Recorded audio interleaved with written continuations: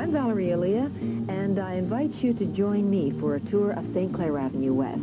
From Dufferin to Earlscourt Park, this is an area full of markets, good things to eat, fancy shops, and of course people. We will sample the food, meet some of the people, and even go to a traditional Italian wedding. It's Giorgio Armani, gelati, fresh figs, people, cappuccino, St. Clair Avenue West.